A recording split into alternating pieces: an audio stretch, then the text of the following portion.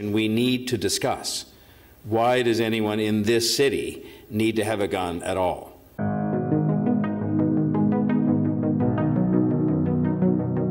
As Toronto continues to reel and recover from the horrific shooting on the Danforth, news has just broken yet another shooting in Etobicoke. I'm here with Warren Kinsella, who, by the way, used to be a cop reporter back in the days when he was in law school trying to make some money, and also, of course, um, you know, one of Canada's most prolific political strategists and founder of Daisy Group.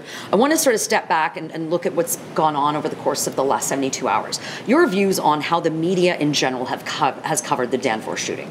Well, it depends on the media. Uh, another organization, which I will not name, mm-hmm. seemed to spend a lot more time preoccupied with the killer mm-hmm. than with the victims. And you know whether you're on the right or the left, mm-hmm. that's just inappropriate. Yeah. That's wrong. And um, you know I understand the need to figure out what was going on in that person's mm-hmm. mind, but we should be really more preoccupied with the victims. So it's really interesting, you know, sort of letting our, our viewers into the, the minds of, you know, newspaper editors when we're talking about what we're going to pick for the front page. Uh, so often, the person who perpetrated this, this crime does get does get the attention because you want people to see um, what has happened.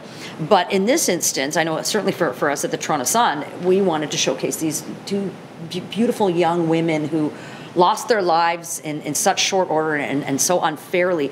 Um, it helps make people understand just the gravity of what, what has happened here.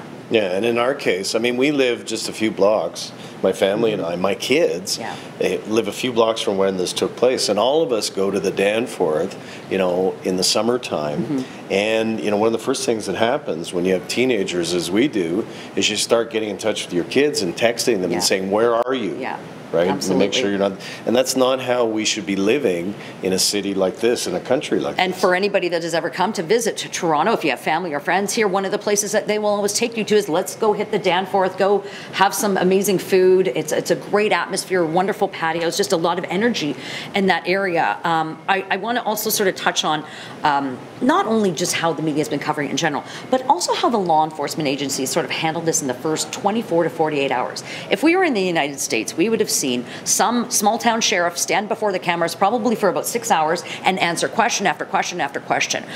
In Toronto, in Canada in general, with our law enforcement, they're very guarded, they're very tight lipped, and to the point where we only got a press release saying it's only after all this interest in the public interest are we going to release the name of the suspect. What, what do you say to that? Well, you know, and it, there's a problem with doing police and media work in that way because what it does in the era of Twitter and Facebook and Instagram mm-hmm. is it gives rise to exactly what happened, which was a ton of speculation mm-hmm. about who did this, whether another shooter was out there, and so on. And you see that whenever there's one of these situations, and often I think the police, and this is one of the things my firm does, need some crisis communications mm-hmm. experience because what happened here is there were hour after hour where we're all wondering what was going on, and it was just it was not working. Let's talk about um, the other sort of question mark in, in, in a lot of this, and uh, my colleague here at uh, Sun Media, at Toronto Sun, Anthony Furey, has done a really quite an extraordinary. Um, an expose on the person that was the spokesperson for the, for the for the suspect's family. Um, your views on that? Look, you, you've been on the political side, you've been on the crisis communication side. It, did it seem quite scripted to you and, and, and very convenient as far as the timing? It not only seemed scripted, it didn't sound like the people who right. were supposed to be issuing it.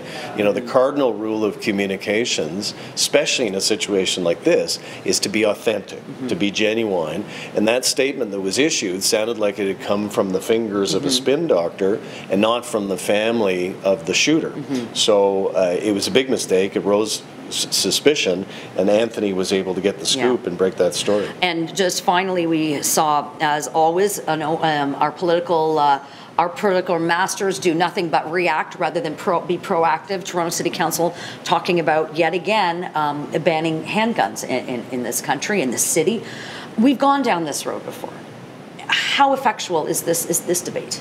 Well, I mean, if you believe that politics is only about symbols, it's a good symbolic gesture, as you know and as I know. Sure, but the bad guys aren't registering their guns. I'm a, I'm a gun owner. That's right. If somebody, while I'm sitting here and speaking to you right now, breaks mm-hmm. into my place yeah. and steals my guns, those guns will be on the street. I've taken steps, trigger locks and sure. lockers and all that But yeah, you're absolutely right. Mm-hmm. What I think is more meaningful, I mean, the two politicians have been most active on this file since the terrible events of Sunday night has been the Premier, Doug Ford, mm-hmm. and the Mayor, John Tory.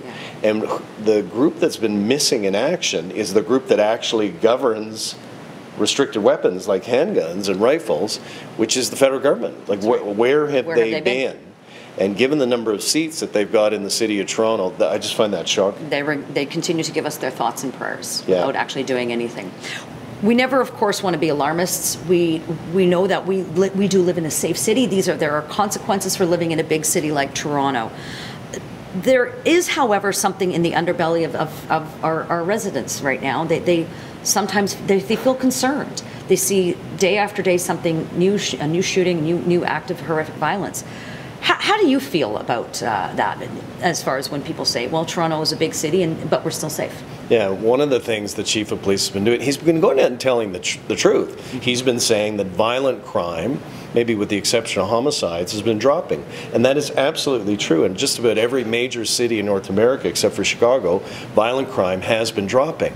But I don't want to hear it. On Sunday night, when something terrible like that happens, just emotionally, you don't believe it. You don't want to hear that. You want to hear what are you guys going to do to stop this? right. And there are things that they can be doing, like a special court for guns, you know, creating more crown attorneys to, to prosecute these crimes. The federal government taking some positive and active steps to deal with, you know, should somebody with mental illness, with diagnosed psychosis, mm-hmm. get his gangbanger brother's gun? How did that happen? Why didn't they come and retrieve the gun? Absolutely, and, and even like things like sentencing reform. These are these are all big big picture conversations that have to happen within our social our uh, criminal justice system that aren't quite there yet. So we'll we'll continue to follow it.